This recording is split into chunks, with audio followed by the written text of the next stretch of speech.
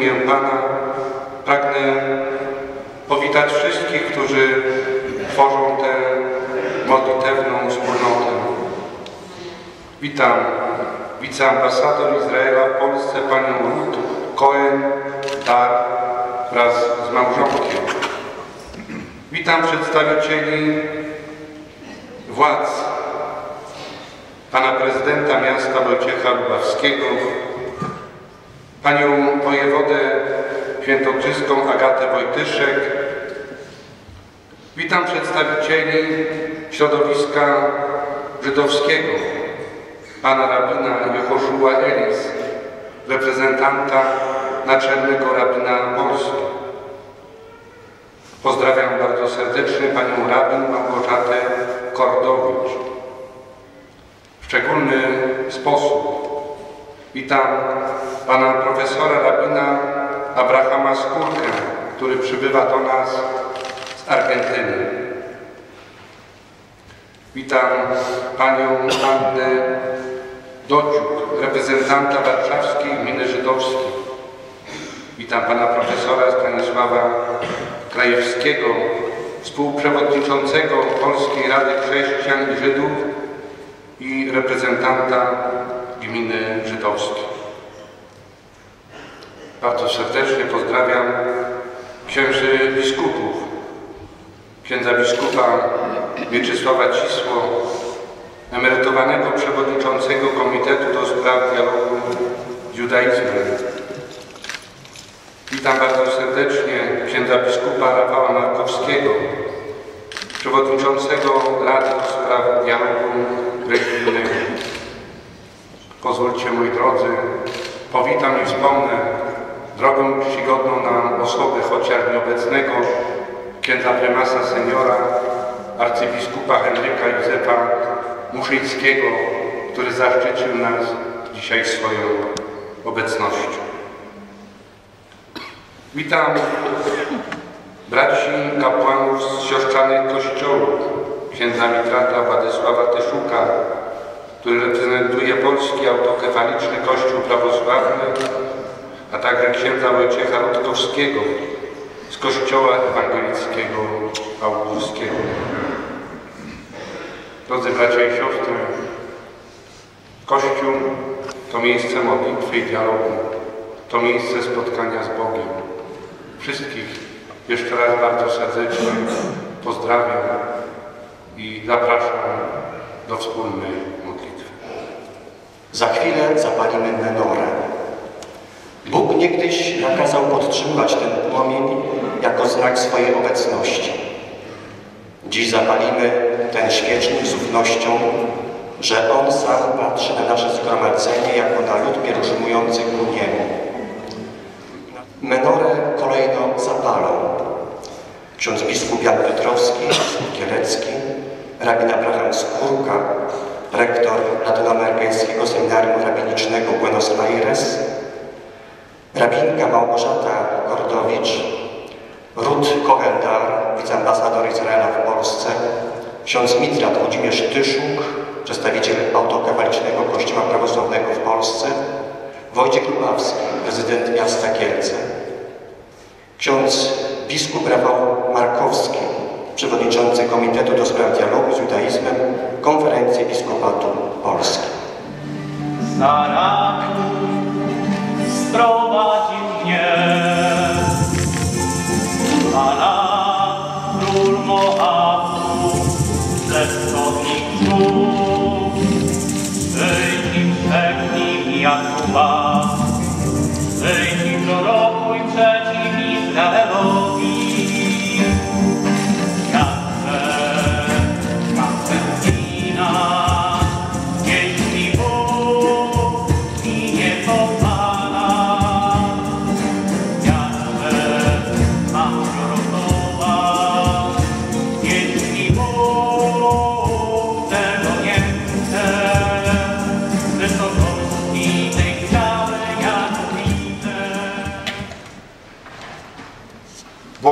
Abrahama, Boże Izaaka i Boże Jezusa Chrystusa, spraw prosimy Cię, aby płomień tej menory stał się dla nas, chrześcijan i Żydów, wezwaniem i zobowiązaniem do rozświetlania świata Bożym światłem.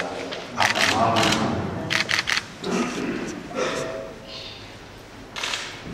Niech chwila ciszy przywoła na pamięć to, co piękne na naszej wspólnej drodze dialogu modlitwy. Niech będzie wspomnieniem bolesnych chwil, ale też i spojrzeniem w przyszłość, jaką Bóg ofiaruje wszystkim, którzy Go miłują. Niech te wszystkie intencje, które nas łączą w tym świętym miejscu, będą miłe Bogu, a dla nas owocne. והכיתני השם ויפת, חזקתני ותאכל. הייתי לשחוק כל היום, כולו לועג לי. כי מדי אדבר אזעק חמס ושוד אקרא, כי היה דבר השם לי לחרפה ולקלס כל היום. ואמרתי, לא אזכרנו, ולא אדבר עוד בשמו. והיה בלבי כאש בוערת, עצור בעצמותיי, וניליתי כלחם ולא אוכל. Czytanie z księgi proroka Jeremiasza. Wiodłeś mnie, Panie, a ja pozwoliłem się wieść. Ujarzmiłeś mnie i przemogłeś. Stałem się codziennym pośmiewiskiem. Wszyscy mi urągają. Albowiem ilekroć mam zabierać głos, muszę obwieszczać gwałt i ruinę. Tak słowo Pańskie stało się dla mnie codzienną zniewagą i pośmiewiskiem.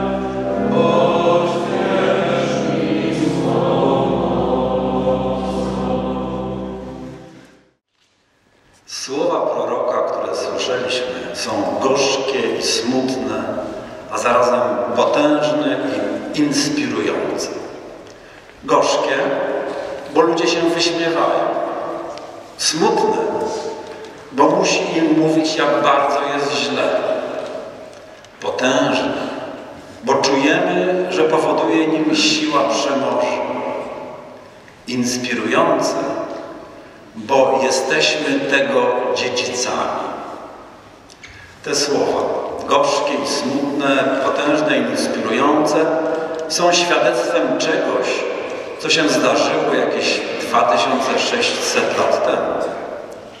Nie ma teraz takich proroków. Ba, wedle tradycyjnego żydowskiego podejścia proroctwo ustało jeszcze w starożytności. Pozostała tradycja i pismo żywa tradycja i przemawiające do nas teksty. Bo nasz świat co róż skłania do pesymizmu. Nie tylko Jeremiasz miał powody do obaw, my też. Pamiętamy wojenną zagładę, której cień zawsze jest obecny. Z jej powodu wspólnota polskich Żydów jest tylko mizerną resztką wielkiej niegdyś społeczności.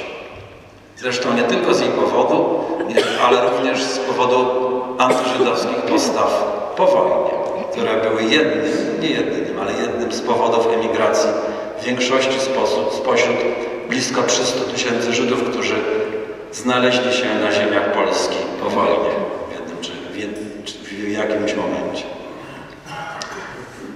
Teraz widzimy również na przykład zagrożenia dla państwa Izraela, zagrożenia ze strony jego nieubłaganych wrogów, a także zagrożenia wewnętrzne, podziały wewnętrzne, bezpodstawną nienawiść, ujemny wpływ, jaki ma na psychikę Żydów żyjących w sytuacji ciągle prawie wojny. A wszędzie na Zachodzie i na całym świecie odczuwamy, odczuwamy obecny kryzys cywilizacyjny. Jesteśmy na zakręcie, my jako cywilizacja. Nie wiadomo, gdzie się znajdziemy. Z tego powodu rośnie poczucie beznadziei zagrożenia, wzmagają się agresywne nacjonalizmy. To ma swoje konsekwencje. Zagrożona jest demokracja, również w Polsce.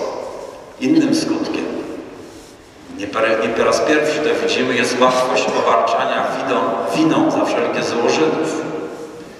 W niektórych miejscach od nienawiści do islamu do antysemityzmu jest tylko krok. Bywa taki w Polsce. Misja żydowska w swoim najskromniejszym wymiarze to jest po prostu przetrwać. Nasze przetrwanie nie jest zapewnione. Niby wszystko jest inaczej niż za czasów Jeremiasza, ale przyszłość jest równie niepewna.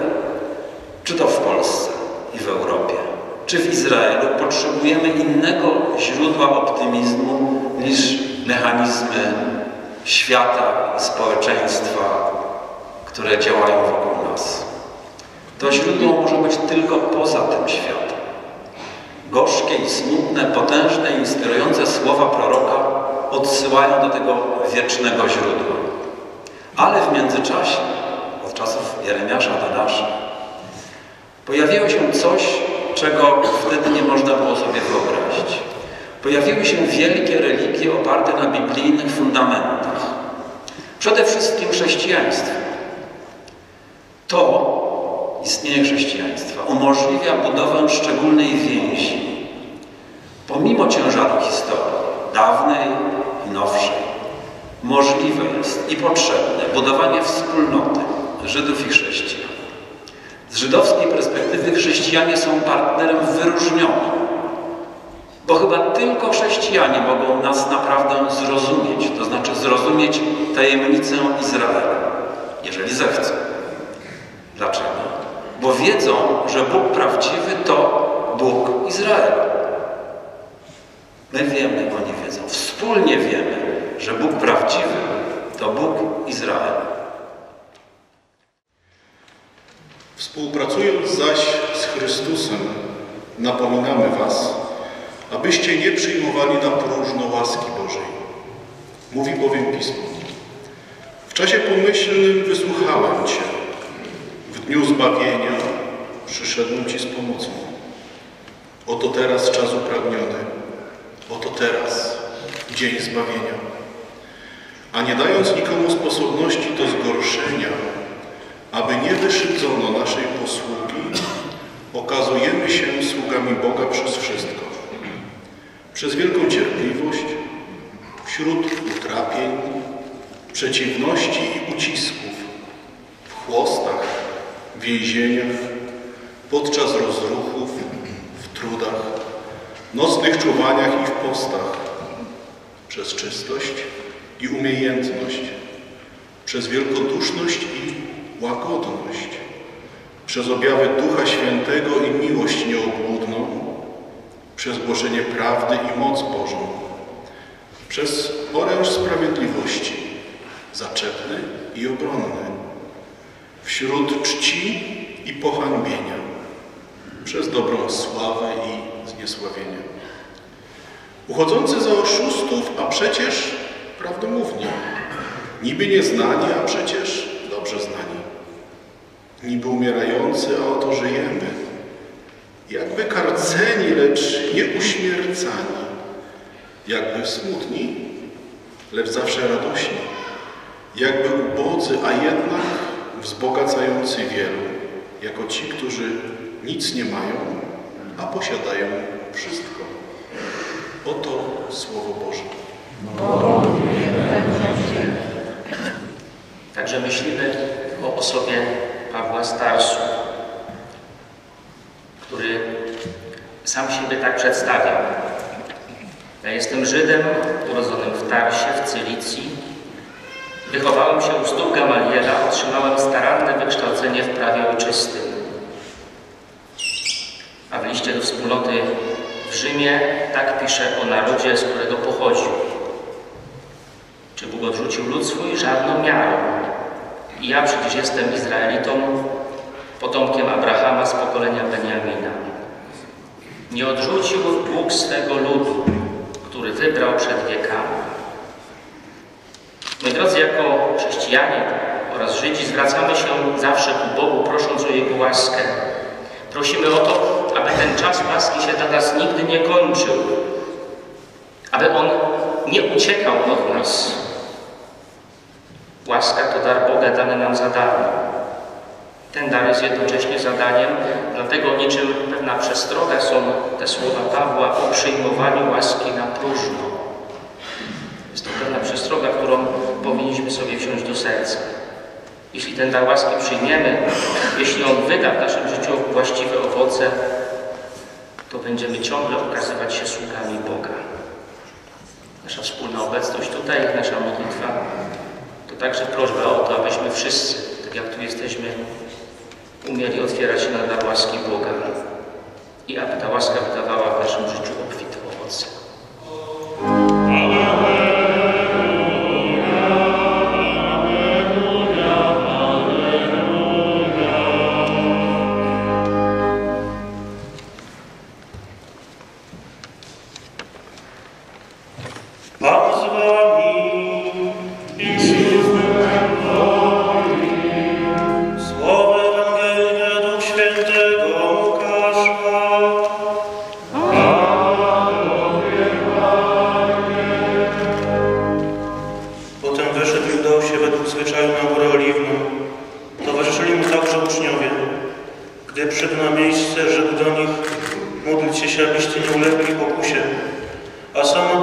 od nich na odległość, jakby rzutu kamieniem. Upadł na kolana i modlił się tymi słowami. Ojcze, jeśli chcesz, zabierz ode mnie ten kielich. Jednak nie moja wola, lecz Twoja niech się stanie. Wtedy ukazał mu się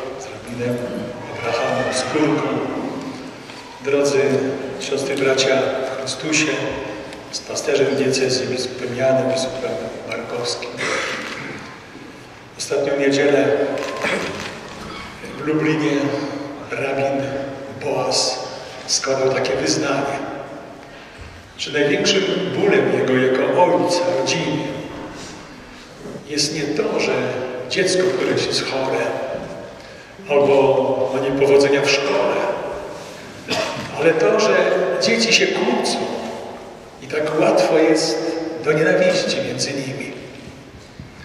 Myślę, że tak jest również w tej rodzinie dzieci Bożych, że ból Boga jest wielki, jeżeli Jego dzieci żyją w nienawiści, w konfliktach, ale cieszy się, mówiąc językiem antropomorficznym, Bóg, jeżeli Jego dzieci żyją w zgodzie, w braterstwie i miłości. I dzisiaj Bóg, nasz jeden Bóg, ma radość, że tu jesteśmy razem. Żydzi, chrześcijanie, katolicy, ewangelicy, prawosławni, wszyscy jak tu jesteśmy. A może jest ktoś też, kto przyszedł szukając Boga i nie może jeszcze złożyć osobistej deklaracji, że wierzę w Boga jednego.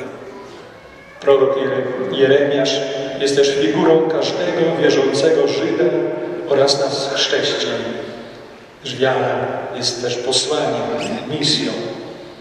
Możemy się tutaj odnieść do słów wygłoszonego dzisiaj wykładu przez zacnego nam rabina Abrahama Skórkę, zatytułowanego Życi chrześcijanie w Nowym Świecie. Słyszeliśmy w nim pełnej nadziei słowa o potrzebie wspólnego świadectwa wiary. Wiary w Boga wobec pogrążającego się w nihilizmie świata.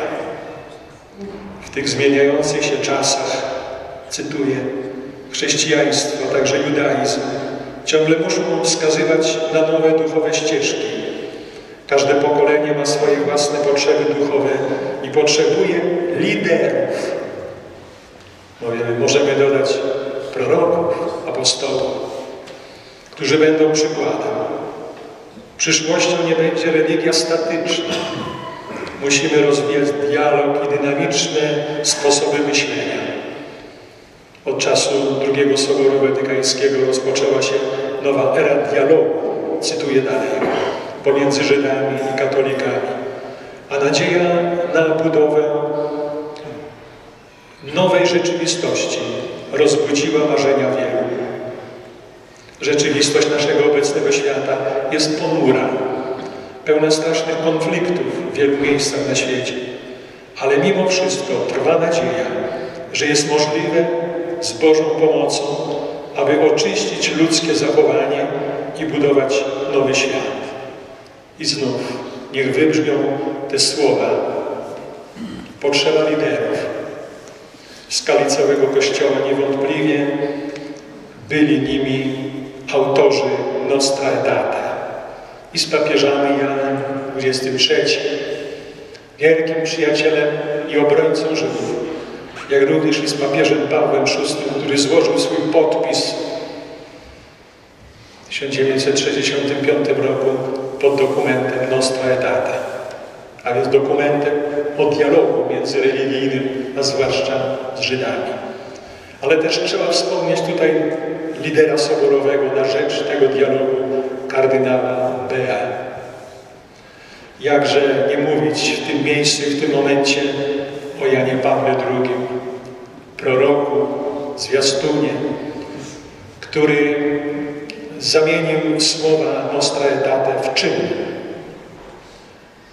Nie byłoby nas tutaj, myślę, i nie byłby na takim etapie dialog w swoich strukturach i działaniach i ludziach, gdyby nie Jan Paweł II. Z tymi słowami kluczami do dialogu Żydzi to nasi starsi bracia w wierze. Antysemityzm jest ciężkim grzechem. Kto spotyka Jezusa, spotyka judaizm i wiele innych słów i gestów na czele z przekroczeniem progu rzymskiej synagogi po dwóch prawie tysiącach lat. Apostoł uczynił ten gest. Jak również i spotkaniu w Yad Vashem z tym jakże symbolicznym uściskiem przyjacielskim z Jerzym Klugerem, przyjacielem, kolegą ze szkolnych ław w Wadowicach. I później ta modlitwa włożona w szczelinę ściany płaczu, którą my przy takich zgromadzeniach jak dzisiaj odmawiamy. I nawiązanie stosunków dyplomatycznych stolicy apostolskiej z Izraelem, co oznaczało pełna aprobata, pełną aprobatę dla państwa izraelskiego. Później przychodzi Benedykt XVI. Chce może po części prześcignąć swojego poprzednika, bo nawiedza trzy synagogi w świecie i wypowiada tyle ciepłych słów o Żydach, o braciach, o przyjaciołach, a nawet dopowiada do słów o starszych braciach, że Żydzi są naszymi ojcami w wierze. To słowa Benedykta XVI. Papież Franciszek niech nam mówi wszystko obecność rabina Abrahama Skórki, wielkiego przyjaciela kardynała Bergonia. A dzisiaj ta przyjaźń jeszcze bardziej przybrała na sile. Dzisiaj też winniśmy wspomnieć o liderach dalej po żydowskiej stronie, oprócz rabina e, Abrahama. Należy wspomnieć rabina Michaela Szydrycha, byłyby z nami, podobnie jak pani ambasador Anna Azar, ale są razem w towarzystwie prezydenta Rzeczypospolitej w Izraelu. Jakże nie wspominać takich wielkich postaci żydowskich, teologów, rabinów, jak Abraham Joshua Heschel, tak często cytowany nie tylko dzisiaj, ale również i przez teologów katolickich. Rabin Rosen, tak oddany dialogowi i wielu, wielu innych, chociażby autorów dokumentu dzisiaj też cytowanego Dabru Emet, głosić prawdę, podpisanego przez stu kilkudziesięciu rabinów i teologów żydowskich, wykazujących wolę wprowadzenia dialogu i budowania braterstwa z chrześcijanami. A na polskiej ziemi jeszcze dzisiaj obecnego arcybiskupa Muszyńskiego należy wspominać, tego pioniera, inwestora dialogu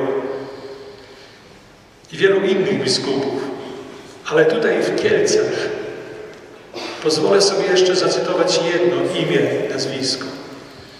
Kogoś, kto tutaj w tym mieście od wielu lat buduje mosty, głosi nawet gorzką prawdę dla nas, Polaków, ale w miłości.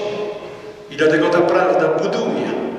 To pan Bogdan Białek, też posłany przez Boga, człowiek wielkiej pokory, głosiciel prawdy w miłości, tak jak opiewa hasło Katolickiego Uniwersytetu Lubelskiego w Lublinie Veritatem in Caritate. A Kielce są symbolem pokonania bolesnego dziedzictwa i są dzisiaj stawiane za wzór właśnie tej prawdy miłości. Potrzeba nam dzisiaj liderów, którzy dalej o naszej wspólnej historii polsko-żydowskiej i katolicko-judaistycznej będą poszukiwali całej prawdy i będą ją głosili w miłości, zachowując właściwą proporcję między tym, co łączy, a tym, co dzieli. W spojrzeniu na złożoność ludzkich spraw, nie tylko polsko-żydowskich, Niech nam pomoże ogólne pytanie o człowieka, o zło, dzisiaj stawiane przez prelegenta zacnego naszego. Kim jest człowiek? Wśród wielu odpowiedzi jeszcze pozwolę sobie przytoczyć jedną, zawartą w książce polskiego filozofa duchownego, zatytułowanej Między heroizmem a bestialstwem. Człowiek to istota zawieszona między heroizmem a bestialstwem. W każdej zadawanej niewinnej śmierci, a innej nie ma, ujawnia się bestialskie oblicze człowieka, oblicze Kaina, czy to w hekatombie zagłady, czy w każdej zbrodni. A heroizm ma swoje oblicze proroka, przede wszystkim Jezusa Chrystusa, który wydaje siebie za życie świata ratowania cudzego życia z narażeniem własnego. Ale jest jeszcze jedna postawa, postawa środka. To jest obojętności. Obojętności na cudze cierpienie, na cudzą niewinną śmierć. Tej obojętności nie da się pogodzić z godnością chrześcijanina, z Ewangelią. Naszym powołaniem jest wspólnym chrześcijan i Żydów. Jest powołanie do heroizmu, do takiej miłości, w której mieści się nawet gotowość do oddania własnego życia dla ratowania cudzego. W tej perspektywie powinniśmy stawiać sobie pytanie ustawiczne, ustawicznie, a jak ja osobiście zachowałbym się wobec krzywdzonego czy zabijanego człowieka? We wspominaniu żydowskich ofiar na polskiej ziemi, także na kieleckiej, nie może być obojętności. Obojętności chrześcijańskiej duszy, lecz współczucie, solidarność, pamięć opłakiwanie, ale szacunek dla żywych. I po to tu jesteśmy dzisiaj. Zostaliśmy posłani przez Ducha Świętego, Ducha Soboru Watykańskiego, przez Ducha Nostro Aetate, a przede wszystkim zgromadził nas tutaj Jezus Chrystus, odrośl Dawida, Mesjasz Król, w tej jedności chrześcijańsko-żydowskiej, którą On niósł w swojej ludzkiej naturze, abyśmy dalej budowali mosty ponad podziałami, abyśmy stąd kierowali nasz sprzeciw wobec dyskryminacji, wobec rasizmu, ksenofobii, antysemityzmowi. Również te słowa dzisiaj padły na, w naszej wspólnocie.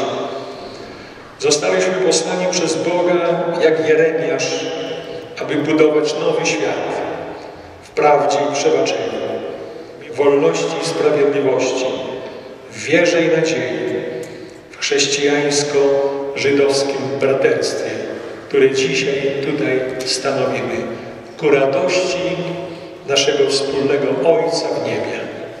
Amen. Módlmy się za Kościół do nowego przymierza, aby dobrze wypełniał dzieło jednania ludzi zlecone przez zmartwychwstałego Pana, burząc mury niechęci i podziałów. Ciebie prosimy. Módlmy się za naród pierwszego wybrania, aby wierny Słowu Bożemu, głoszonemu przez proroków, postępował na drodze sprawiedliwości i przygotował się na przyjście dnia ostatecznego. Ciebie prosimy. Módlmy się o dar pokoju dla całego świata, a zwłaszcza dla miejsc, gdzie trwają konflikty i podziały, aby Duch Święty usuwał z serc ludzi wszelką wrogość i dał łaskę budowania trwałego braterstwa. Ciebie prosimy. Módlmy się za wszystkich, którzy zginęli w obozach zagłady oraz ofiary wojen i aktów przemocy, a zwłaszcza za ofiary wydarzeń kieleckich w roku 1946, aby Pan przyjął ofiarę ich życia i odpuścił wszelkie grzechy.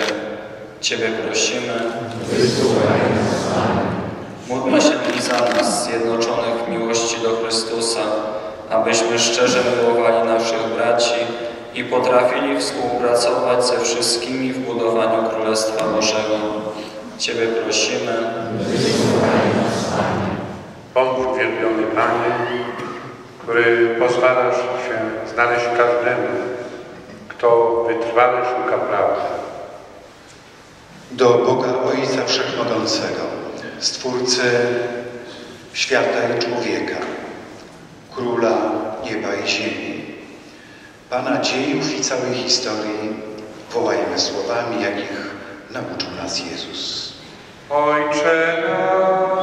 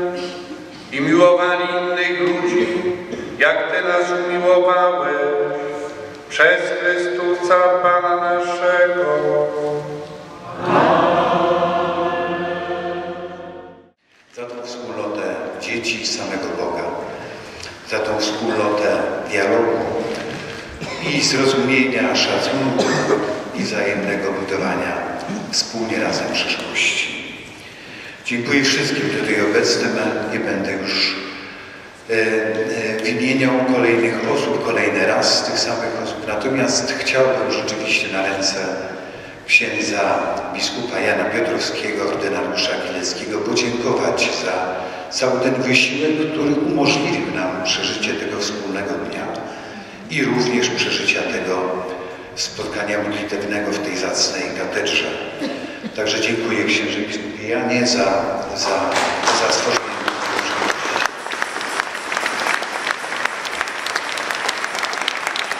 Wspomniałeś tutaj o emeryturze, która księdza biskupa Mieczysława Cisło. Chciałbym to zdementować. Na żadną emeryturę jeszcze nie idzie, mam bardzo dużo do zrobienia. Natomiast rzeczywiście e, dokończył jakby przewodniczenia Komitetowi do Spraw Dialogu z Judaizmem przy konferencji Episkopatu Polski. Przewodniczył tym pracom przez 10 lat, zbudował znakomity zespół ludzi oddanych tej pracy, którzy stanowili ten komitet przez te minione lata. Jeżeli ogarnąć myślą te 20 lat, bo to w tym roku obchodzimy 20 dzień dialogu z judaizmem, te 20 lat i wspominając księdza arcybiskupa Muszyńskiego, o którym dzisiaj rzeczywiście była mowa, który zresztą był obecny do południa. Dziękuję wspominając osobę księdza arcybiskupa Gondeckiego i wreszcie myśląc o obecnym wśród nas Cisło, rzeczywiście na przestrzeni tych 20 lat została dokonana wielka, wielka praca. Myślę, że każdy z nas czuje owoce tej pracy, wielkiego wysiłku włożonego w budowanie tych wzajemnych relacji, zrozumienia i szacunku, prowadzenia dialogu między Kościołem katolickim a judaizmem, przedstawicielami judaizmu. Myślę, że dzisiaj księdzu Mieczysławowi, biskupowi Mieczysławowi, jak i również całemu komitetowi, któremu towarzyszył na przestrzeni tych lat i który mam nadzieję będzie kontynuował swoją pracę. Myślę, że dzisiaj klaskami podziękujmy za tę wielką pracę.